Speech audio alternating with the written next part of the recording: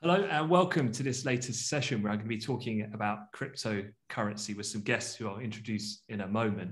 But more specifically, we're going to talk about seven metrics that support a bullish outlook for Ethereum. And that's why, indeed, I've got the guys from the Macro Hive team on the call because it was from their very research that I wanted to get some more information about these seven reasons. And very fortunate timing because it's the 9th of November and overnight, we've seen both Bitcoin and Ethereum hit fresh all time record highs. The actual crypto market now has hit 3 trillion US dollars for the very first time. So, really excited to uh, have this conversation at the most optimal timing, where people, of course, are very interested in all cryptos, but specifically going to talk about Ethereum. So, just by way of introduction, uh, I've got on the call Bilal Hafeez, who's the CEO and editor of Macro Hive.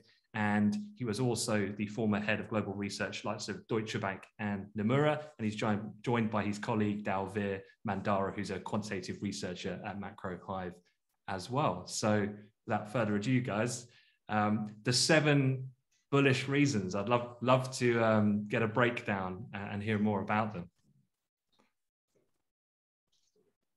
Uh, great, thank you, uh, thank you very much, uh, thank you very much, Anthony. And uh, yeah, welcome everyone on, on to listen to this uh, YouTube, uh, this video. Um, uh, you know, we at Macro Hive, traditionally, we've tended to focus on more of what I guess now is called TradFi or traditional finance markets. So, you know, bonds, FX, equities, credit, and so on. But in recent months, we really have gone um, really deeply into the crypto market as well. You know, one reason is it's obviously grown you know, exponentially in recent years. Um, but also from a technology perspective, you know, there's lots of elements of crypto that tells us that it's here to stay in one form or, or another. And from a finance perspective, I think we're at an interesting juncture right now where um, the technology side is still there, but lots of finance people are coming into the crypto space. So there's this in, in, in interesting mix now of finance uh, people kind of thinking about what crypto means. Now, in terms of our work, if you just go to you know the, the MacroHive site, you know we have our normal normal type of content. But if you if you click on here on crypto, we we publish our pieces on crypto. At the moment, we're focusing primarily on Bitcoin and Ethereum. And I just wanted to show off a bit here, hence going to this page here. But uh, back in a few weeks ago, back in 21st of October, we said that Ethereum is likely to hit $5,000 in the coming weeks. And today on November the 9th, uh, if I just pull up a, pull up a, a Bloomberg screen here of uh, Ethereum, the Ether is trading at close to $4,800. So we're, we're almost at the $5,000 mark. Uh, so we're we're we're basically trading at sort of close uh, close at all-time highs and close to our target of five thousand dollars. Uh, this is Bitcoin. Bitcoin has also risen recently. It had a bit of consolidation beforehand. And again, just to show off again, we published a piece uh, a few weeks ago saying this is not the big Bitcoin correction, where people were getting worried that this, this consolidation here was the beginning of a move down in Bitcoin. We argued no, no that's not the case. Uh, Bitcoin is going to continue to, to rise. Um, now, what, what gives us this level of confidence or conviction around this is that we've built a framework to try to understand crypto. And what I find being a relative newcomer to the crypto world is that you tend to find that uh, there's, you know, the, the research analysis side of crypto is almost like the, the Wild West, where people have sort of outlandish targets with no real basis. They look at charts, also technical analysis with breakouts and so on, um, which, which has some value, but it's not enough. And so what we try to do at MacroHive is that we try to build some kind of framework on analytics around how to forecast crypto markets. Um, so we use kind of flow positioning information, but also a lot of on-chain analytics, because one of the big um, uh, advantages of crypto is that all the data is available to the public in one form or another, because everything's on, on the blockchain. And in this, uh, in this video, we're basically going to go through our framework for Ethereum which is similar to our framework for Bitcoin as well. So the last piece we published on Ethereum, which kind of runs through the framework we published um, a week or so ago, where we talked about how we think Ethereum is going to outperform Bitcoin. Um, and you know, we provide some context here, but if I just you know, jump straight into the framework itself, we, we essentially look at seven different factors that we think are most important for trying to understand the future direction of Ethereum and, and Bitcoin. Um, I mean, before I go on, the one thing I, I, I, just wanted to add is that I'm not really going to go into whether Ethereum has a future or not, or whether Bitcoin has a future or not. That's for a separate conversation, separate debate, and we've had those debates before. So this is with the assumption that you know Ethereum's here to stay. Given that, you know, how can we forecast uh, Ethereum or, or indeed Bitcoin or other cryptocurrencies? Um, so the first factor we like to look at is institutional demand. And this probably has been perhaps the biggest story over the past year, year and a half since the advent of COVID, where suddenly the mainstream finance community has gone into crypto. Beforehand, it was really uh, the technology guys or just people who had a particular interest in crypto. Now, suddenly mainstream institutions are investing in crypto as well.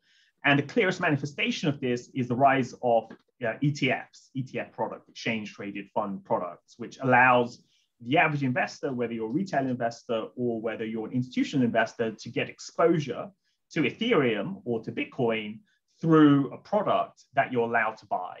So many institutions are not allowed to hold Ethereum or Bitcoin directly on an exchange, on a crypto exchange. Uh, instead, they, they are allowed to hold an ETF, which has exposure to the underlying, which is Ethereum uh, or, to Bitcoin. Um, and in the case of Ethereum, there's a whole range of ETFs that have been launched. Uh, many of, most of them, there's a whole bunch in Canada, a bunch in Europe. I don't think we have one yet in, in the US, but I'm sure one is soon to come. We had the first Bitcoin futures ETF uh, was launched um, a, a, few weeks ago, which has helped the, the rally in Bitcoin. But nevertheless, there is ways for global investors to get exposure to Ethereum without having to hold Ethereum directly. So we track these ETF flows. Um, and so this chart here shows you the ETF flows into Ethereum uh, ETFs. And so what you can see is in recent weeks, there's been a surge of flows into Ethereum ETFs. And for us, this is a very bullish signal. So what you were seeing at the uh, uh, at the end of the summer uh, or around October time, Ethereum prices started to go up. So Ether prices started to go up, but there really wasn't much uh, institutional flow supporting that, that, that price increase. But since, say, the last, say, three, four weeks, suddenly with this uh, rise in uh, Ether prices, you suddenly see institutional flow starting to come in and it's starting to accelerate. So this metric for us is, is quite a bullish signal for Ethereum and Ether prices uh, you know, going forward. So this tells us that institutions are back in crypto and they're buying uh, Ethereum through these ETFs. And you're seeing something similar on the Bitcoin side as well. So this is one metric. Is, is there any so, way for, uh, is, sorry about that, is there any question on this for a, a, a regular person, let's say, to access the type of outflow inflow data for this type of to obtain this sort of metric? Where would they go to do that that's a good question. I mean in terms of getting this data in theory you could basically go to the etf providers sites and i think they would each individual website would have the flow data that you can get. So you, you could kind of do it in a very manual basis. Otherwise data providers whether it's bloomberg refinitiv would have that data as well. I'm sure there's other cheaper, lower cost data providers that may have this data as well. Um, on top of that, MacroHive, what we're doing is we're publishing these charts uh, on, a, on a weekly or bi-weekly basis. So you could just come to the site and then you'll just see what the flows are. So that's another way as well. Um, so there are sort of different ways. Um, you know, some are more manual. Um, you know, so there's kind of a range of different ways you can get access to that data. Okay. Sounds now good. the so that's the first one, you know, trying to track institutional demand. And for us, the proxy, the best way of tracking institutional demand is ETFs. Uh, the second one is this whole idea of liquidity. Um, and this is a bit more for the crypto geeks out there, which is the idea that if people who hold Ethereum, so this is the people who actually hold the Ethereum uh, coins directly, so these are not people who use ETFs, so these are a bit more of the crypto native crowd. Um, one measure of bullishness is how much liquidity do the people who hold Ethereum want? Um, now, so if you're very bullish, if I'm a holder of Ethereum and I'm very bullish on Ethereum, I probably don't care. I, I, I probably don't mind if I hold my Ethereum in a very illiquid form. So by illiquid form, what that means is that it, it's not easy for me to quickly buy and sell it. Now, if I'm very worried about Ethereum, I'll want to hold it in a format which is very easy for me to quickly sell it. Uh, in the crypto world, to simplify it, the liquid form would be to hold it at an exchange. So there's lots of exchanges, you know, whether it's Coinbase, um, uh, Kraken, and so on. There's a whole bunch of exchanges which you can use to buy Ethereum. If you leave it at the exchange, it's very easy then to you have a balance at the exchange. Your Ethereum's held there. If you want to sell it, you can quickly just sell it because it's still on the exchange. So the balance is at the exchange. Alternatively, if I'm uh, if I'm very bullish and I don't really want my Ethereum to be held by a third party, I can hold it in my private wallet. So I could have my special USB stick or version of it, which is a private wallet, and just hold it on there. Um, and for me to kind of access that, I need my really long code to be able to access access that uh, that wallet. Um, or I could hold it in a custodian, a third party custodian. Uh, but in either way, it's held in a way which makes it harder for me to easily sell it. So if I'm holding in that form, that means I'm actually quite bullish. You know, so so I'll, I you know I'll go to an exchange to buy Ethereum, then I take it off the exchange and put it into a format that's illiquid, which tells me, which tells us, the outsider who's tracking these flows, that actually this person is very bullish. So what we do is we track flows onto and off exchanges. And the idea is that if there's flows out of exchanges, that means that holders of Ethereum are very bullish. They're, they're basically taking off the exchange into a form that's illiquid. And so this is a chart which shows you uh, exchange flows over the course of this year, over 2021. And so you see in general, it's mainly orange lines down. So basically in general, people go onto an exchange, they buy their Ethereum and then they take it off. So that means in general, people who buy Ethereum tend to be quite bullish. There are occasions, though, where they uh, push their Ethereum back onto the exchange. And so you see here, around May time this year, you suddenly saw some spikes of flows back onto exchanges uh, around this time. And this was the time where um, Ethereum uh, had a big rise and then fall. There's big correction here. And then over uh, September or so, when, when Ethereum was falling, uh, you saw flows back onto the exchange. There's a level of bearishness. Now, more recently, there's only been outflows. It's been one way. So this tells you that uh, the people who are buying Ethereum are basically taking it off exchange and they're comfortable uh, having it in an illiquid form, which means that they're bullish on Ethereum. So that's the second uh, measure we like to look at. So this is using exchange data, a bit more sort of crypto native, you could say. The third one is to, is to look at the futures activity. So we know there's a whole bunch of futures have been launched that uh, that track Ethereum and also Bitcoin as well. And um, we we basically like to look at uh, um, uh, the amount of open interest, the amount of contracts, long and short together, that are being used to trade Ethereum. So we don't care so much about positioning because in the end, the positioning nets to zero. What we care about is just the size of that market. And the, the exchanges that have futures include Binance, FTX, uh, Bybit, and there's a bunch of others as well. Um, but Binance is, is the largest uh, you know, within the ones we show here in terms of the, the uh, crypto native exchanges. Um, but the overall open interest, the blue line here, shows you that since, since around sort of October, we're tracking this on a shorter time period, uh, there's been a big increase in open interest, which is a bullish sign. Then if we look at CME, a traditional exchange, which has uh, very large volumes in, in, uh, in uh, Ethereum and Bitcoin futures, you see something similar as well, where there's been a big increase in open interest as well. So this tells us that there's uh, a lot of, sort of volumes or the amount of contracts on the exchanges are increasing. And so this, this kind of tells you that there's a lot of interest in the market, probably by institutions, as well as more crypto native investors. And again, this is a bullish signal for Ethereum. Uh, now, the fourth one, um, and I'll talk about this before I hand off to Dalvir, who'll talk about the, the, the, other remaining factors we look at, is hodler behavior. So, hodler is just a kind of a slang, almost like a slang term to refer to uh, crypto investors who tend to be buy and hold or long term investors. So, it's, it's basically another way of saying a long term investors.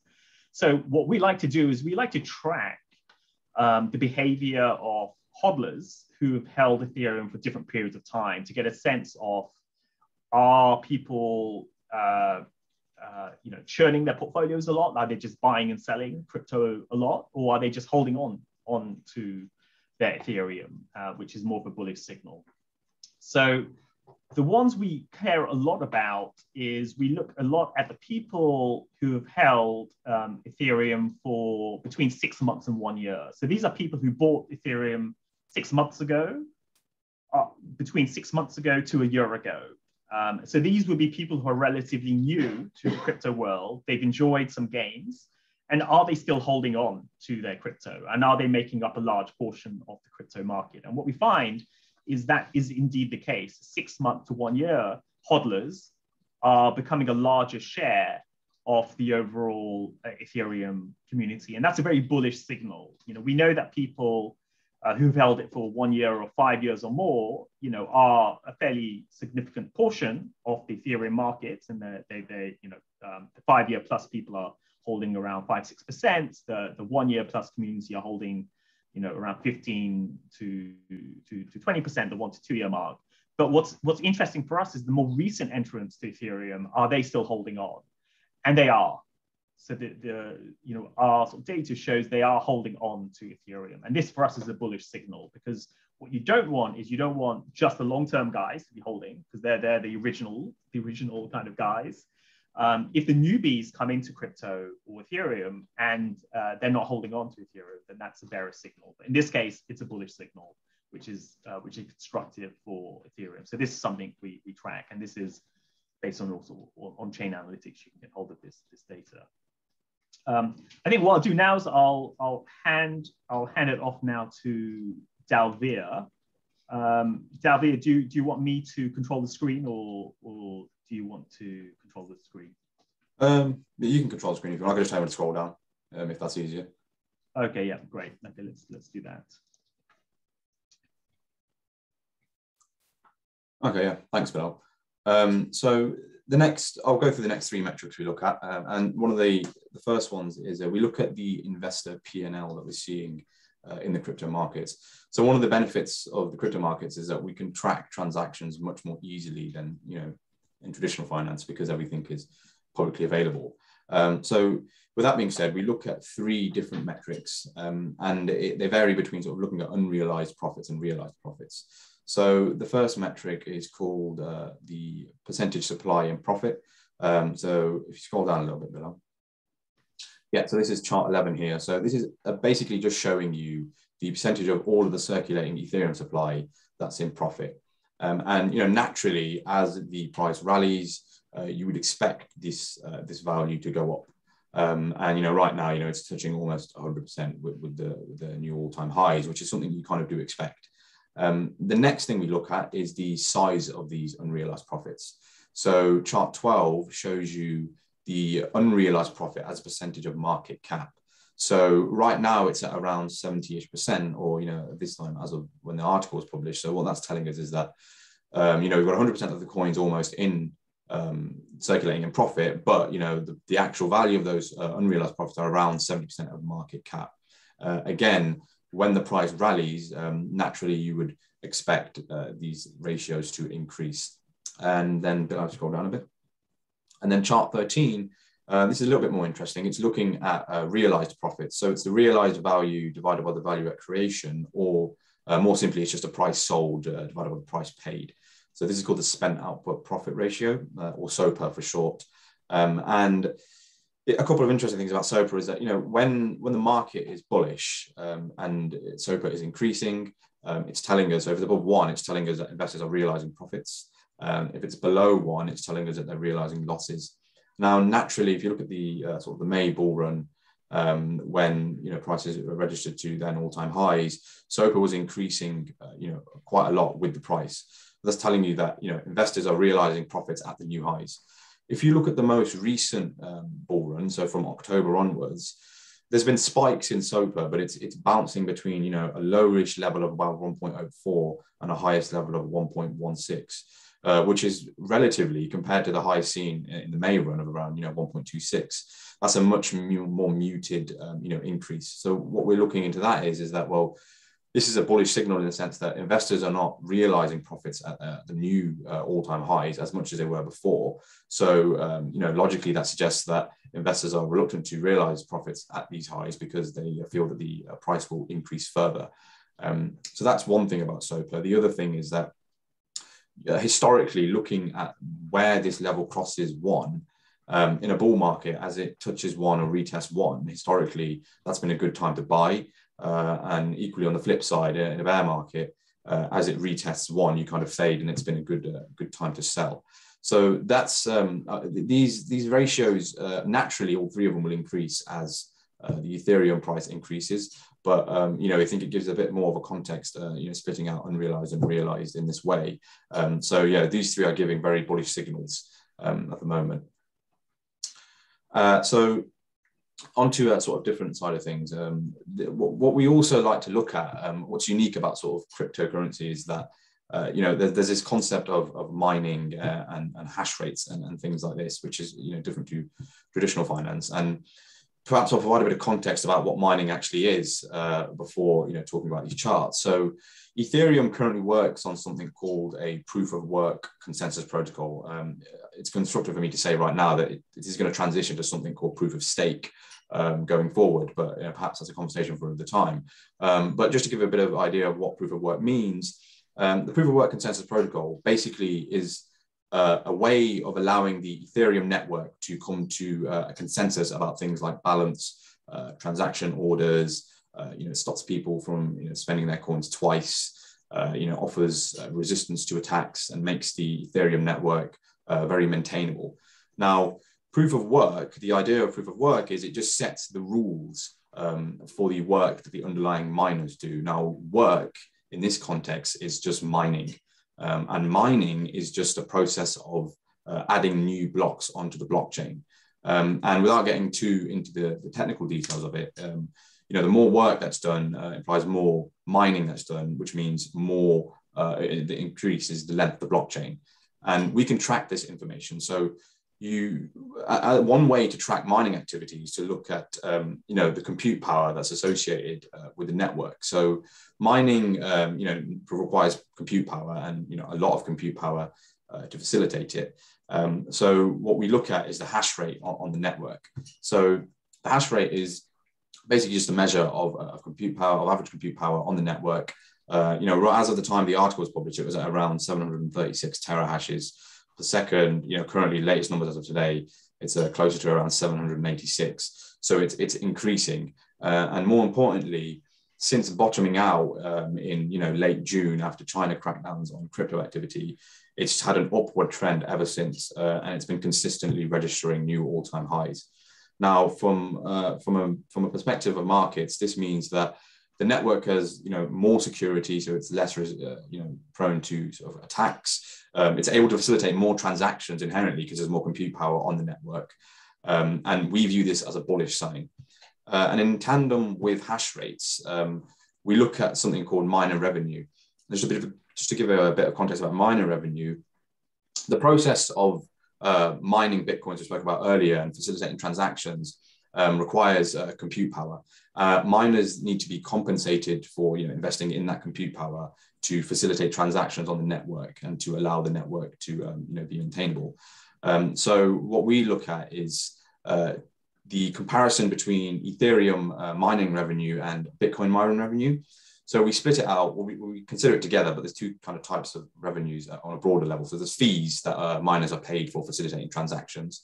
And then there's minted coins. So um, when a, when a miner uh, adds a new block to the blockchain, they're rewarded with freshly minted coins. Um, and these together form uh, the total miner revenue. Uh, and uh, what's what's interesting about the comparison between Bitcoin and Ethereum is that you know, ever since around August, uh, Ethereum's been, uh, you know, pretty pretty largely outperforming Bitcoin in terms of miner revenue.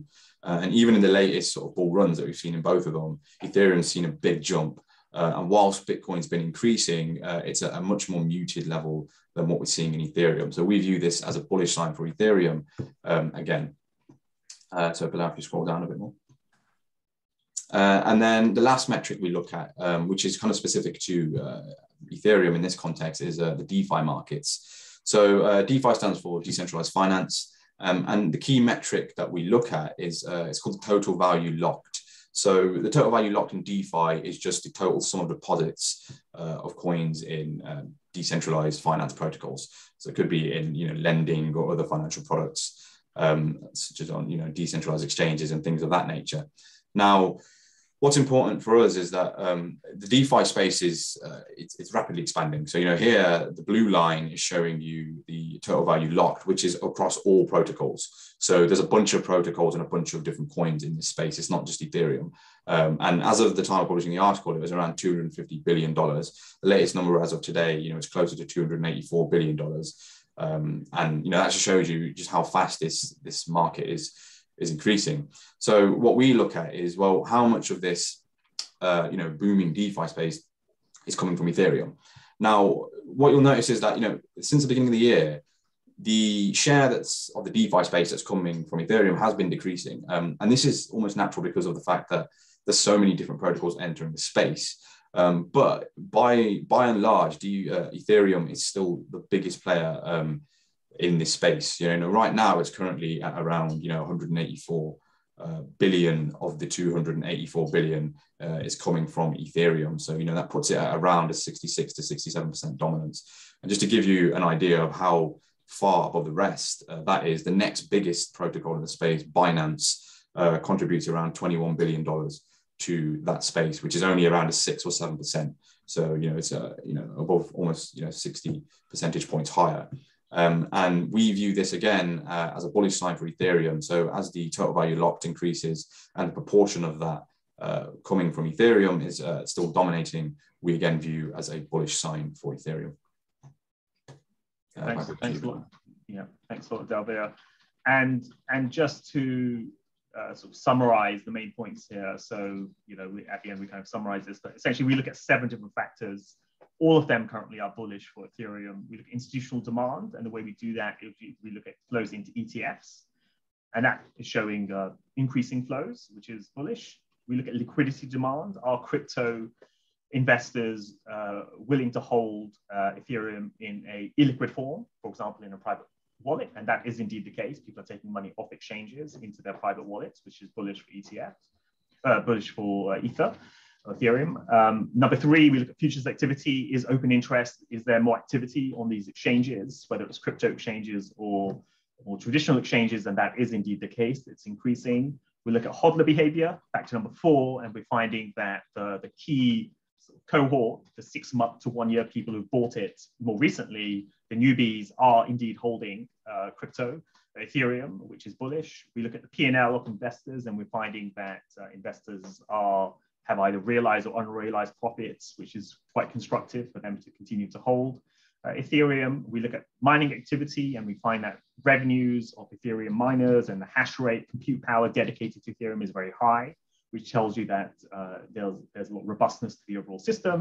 And then finally, we look at uh, decentralized finance space, and we find that there's a lot of Ethereum that is being taken out of, of supply to be locked up to, to underwrite the decentralized finance uh, space, the DeFi space, which means that there's less supply of Ethereum in for investors, which then naturally boosts up the Ethereum price. Um, so these are the seven factors. We track this on a regular basis. You know, for update, if you just you if you just come to the site, you'll see the regular updates. We do this for Bitcoin as well, and and hopefully it, uh, it provides you know, a good framework and, and adds some rigor to crypto markets in a way that you don't really find elsewhere. And I'm a researcher, so I kind of like to have some frameworks um, and, and I think this is something that's quite useful as a way to kind of feel a bit more confident about your holdings or your investments in crypto space. Cool. Thank you guys for the um, for the rundown. And what I'll do is, if we drop a comment below, if you have any questions at all, I'm sure the three of us be more than willing to to pick them up. So just just ask a question uh, if you have one. What I'll do as well is I'm just going to Bilal has kindly said that because of this kind of one-off video that we've done today, that he's happy that if you go to the Macro Hive website and you just use the code amplify50 all one word at the checkout and you'll get a 50% discount uh, on your subscription for your prime plan so um, for one i for sure i mean i my job is tracking news but um, I don't have time to go to the granularity that these guys do, and I lean on them to do that. And so, you know, that's they're the masters of that craft, and I, for one, definitely use that resource for, for the purpose that they've just discussed. So I'd highly, highly recommend it. But um, thank you for, for watching. Thank you to you both uh, for attending. And, and I've got another episode coming out where I'm talking to a specialist in fintech about the metaverse, which will be coming out as well later on uh, this week, which has a nice uh, tie into some of the discussions that we've had here as well. So, so stay tuned. But Bilal, uh, Devir, thank you very much. Great. Thanks for having us. Thank you.